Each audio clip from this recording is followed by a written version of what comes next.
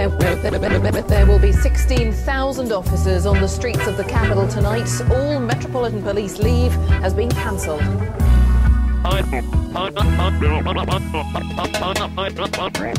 am determined, the government is determined that justice will be done and these people will see the consequences of their actions.